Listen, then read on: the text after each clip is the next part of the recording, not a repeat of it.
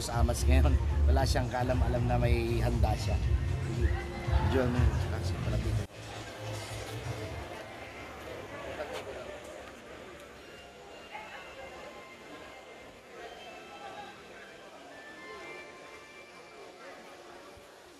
Yan. Yan, yan. Siyempre, pagbibidyohan natin, nagkakaroon si Kalbo ng baka.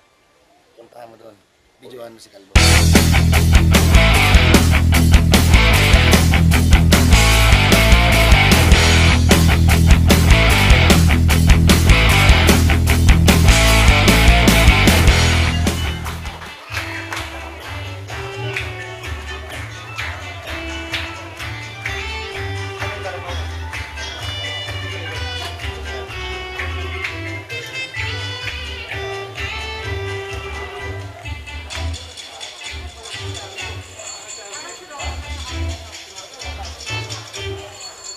Siguro yan, hindi ka na magagalit sa akin. Nasa-surprise ka, boss. Thank you.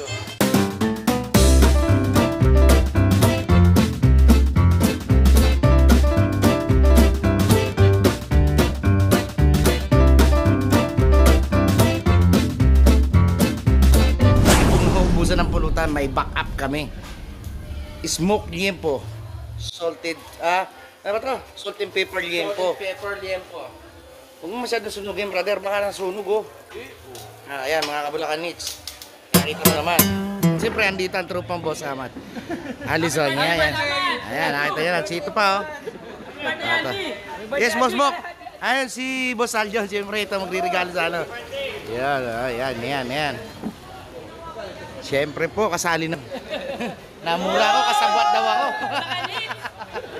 ah, thank you, thank you. Boss, dati na mo. Ayan ang birthday boy natin, si Boss Amats.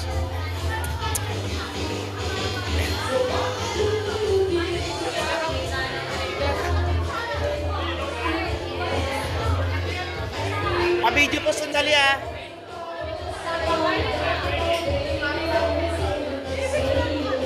Patayin niyo po si Boss Amats ng happy birthday.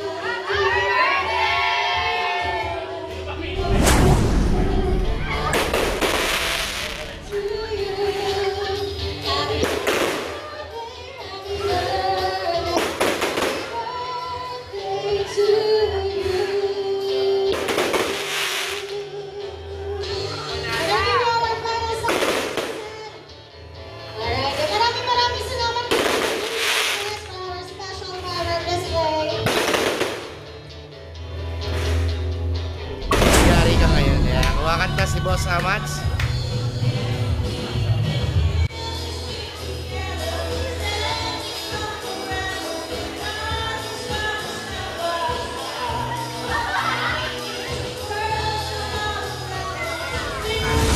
Lulutuin natin ang sinigang na salmon. Yo. Kailan yung tubig? Ace ng salmon.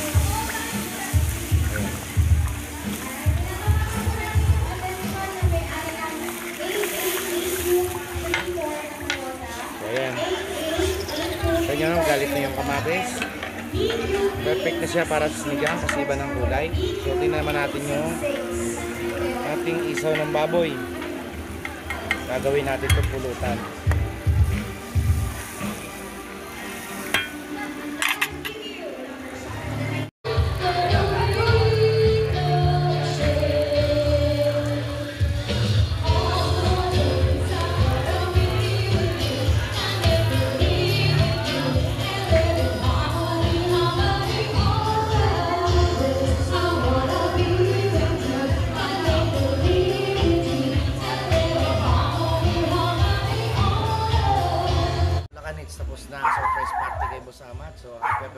Boss.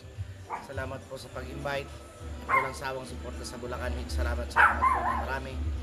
Um, more bliss to come po sana. Thank you, Boss.